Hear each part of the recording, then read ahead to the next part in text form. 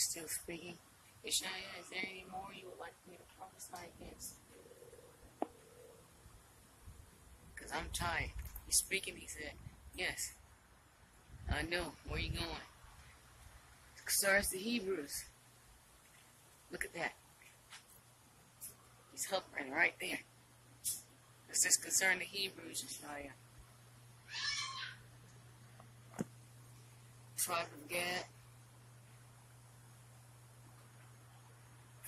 Persia. North Korea.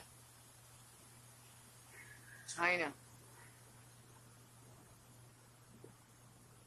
China? Oh, there it is. Prophesy against China. I don't know why he's picking out certain ones and doing certain things. I don't know. He said just prophesy against China. Father Japhet, the Most High is against you, China. This is why. All the noise is over there. In that sea over there.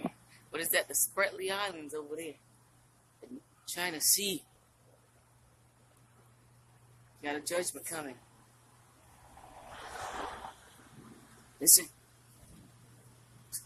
Judgment, you hear that? Not my words. Oh. He blows the wind even harder. He speaks of the judgment. Listen. Weighing the weather and the wind. They said, Who what kind of man is this?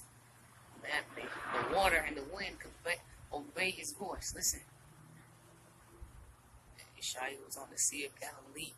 Is there any more that you would like to uh, prophesy against this afternoon?